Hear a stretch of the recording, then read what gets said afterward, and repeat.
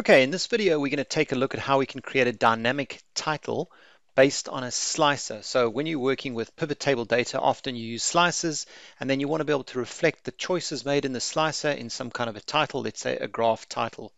And so let's start off with orientating you with the data we've got here. So it's just some safety information.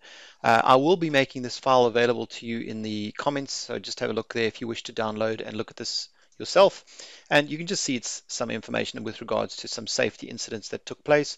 So all I've done is I've taken this table and I've used it to create a pivot table.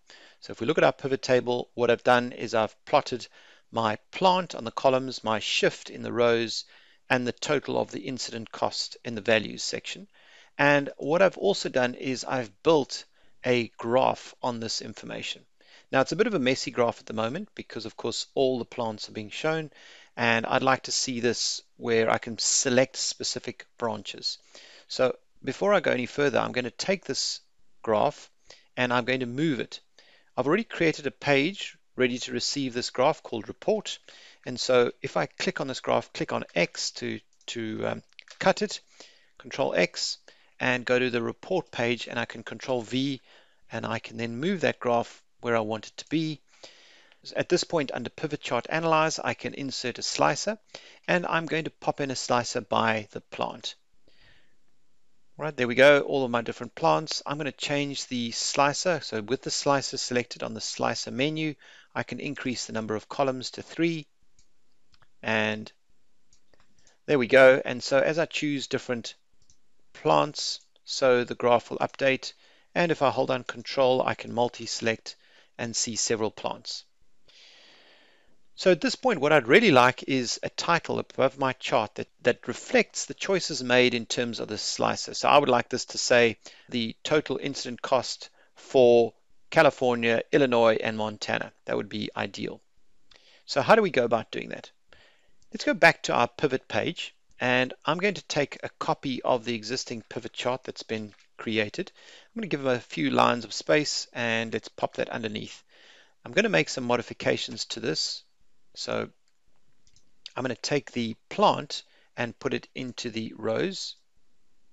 And I'm going to get rid of some of incident cost. As you can see, I now have just the names of the plants in a column. And next thing I'd like to do is under my design, under grand totals, I'm going to turn that off for rows and columns. I don't need the grand total. So now you can see that I have a list here of the plants and because the fact that that slicer is was originally connected to the original pivot table, I've now created a new pivot table. This slicer is connected to both. And so if I go along and choose, let's say, Florida, Alabama, Iowa, and Texas, and I go back to the options shown in the pivot table below, we can see that those different plants are being shown in the list. All right, so let's go along and see how we can go and build a dynamic title from this. Equals, and I'm going to use the text join function. Text join. Text join function asks for a delimiter, which is going to be a comma space. Then it says, do you want to ignore empty? Now I should never have empties, but I'm going to say true. Then it says, what is the text that you want to join up. And so I'm going to select this range here, starting at A17 and going down. And I'm going to give myself a couple of extra lines. Let's go to A35. And at this point, I'm going to close my brackets and press enter. So it now says Alabama, Florida, Iowa, Texas. And all I need to do here is just to say total incident cost for space and then put the ampersand. Total incident cost for and text join. So at the moment, it's looking pretty good and I can go to my report. I can go to my uh, design. I can say add a chart title above the chart. And with that chart title selected in the formula bar, I can say equals and click on the cell with the formula in it. Press enter. And now as I choose different options, we can see that it's updating and dynamically showing those values. All right, that's great. If I deselect or show everything, now it's going to show every single plant.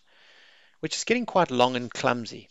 What would be great is to have the ability to say, well, look, if there are more than, say, five choices made here in terms of the different plants, then let's not show them all. Let's say multiple plants. All right, so let's go back now to this graph here. And what I'm going to do is I'm going to use make use of the count A function. So if I go along and say equals count A and choose to select that range, the same range again to 35. Count A, A17 to A35. What that's going to give me in this case is 9. And so what I can do is I can say, okay, if the number of plants returned is over 5, then do one thing. Otherwise, let's do something else. So let's go back in here and I'm going to say total incident cost 4 ampersand and here I'm going to just put a give myself a couple of extra lines. I'm going to say if that value F17 is greater than 5, then multiple plants. Otherwise, it must do all of this. All right, so if we read the query now, it's or the, the formula, it says put in that literal wording total incident cost for, the ampersand will join it on, and then we've got this conditional check to say if F17 is greater than 5, say multiple plants, otherwise put in this text join and concatenate or join these things together. So if we look at that, we can now see total incident cost for multiple plants. And if I go along and choose four plants, it goes along and says Alabama, California, Georgia, Montana. As soon as I go to the sixth it now goes to multiple plants. All right, so that's great. However, if I wanted it to go along and say Alabama, Georgia, and Montana, and Montana, what I could do now is I could go along and essentially moderate or change that formula to ascertain or pick up the first several up to the, sec the last one and then put in an ampersand. All right, so I'm going to go along now and I'm going to use this count A function. At the moment, it's essentially giving us three because we've got three selected here. And so what I want to do is I want to say, instead of text join A17 to A35, what I wanted to do is to say A17 to A18 and then put in the value in A19. All right, so I'm going to go along and I'm going to use this, a function in Excel called indirect the indirect function allows me to reference a cell by putting in the string value. So in other words, instead of typing in the A17, you'll notice I'm wrapping this up in quote marks. And I want to say from A17 to A something.